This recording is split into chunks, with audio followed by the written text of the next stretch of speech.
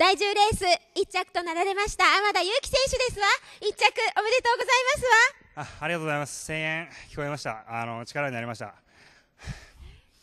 力強いまくりでしたわ。そうですねちょっと単調な攻め方になっちゃったんですけど落ち着いて攻められたと思います。そしてラインワンツーも決まりました。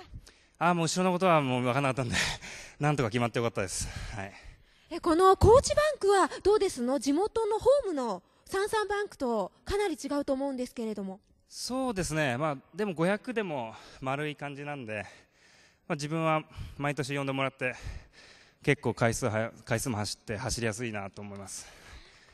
今、お客様から拍手も飛んでいますが。ああのコーチは好きなバンクなのでまた頑張りたいと思います。コーチを好きとおっしゃいましたけれどもコーチといえばカツオ。カツオは食べられました？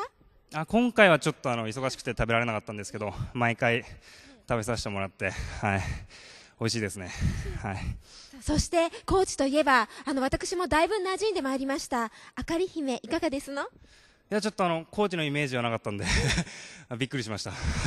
えってことはどうどうですの？どうですの？ああの初めて見させてもらったんですけどちょっとあの言葉にできません。それぐらい美しいということかしらねそうです。ありがとうございます。では最後に明日への意気込みをお願いいたしますわ。えっとあの明日も精一杯力出し切って走りたいと思います。頑張りますんでよろしくお願いします。天田祐希選手でしたわ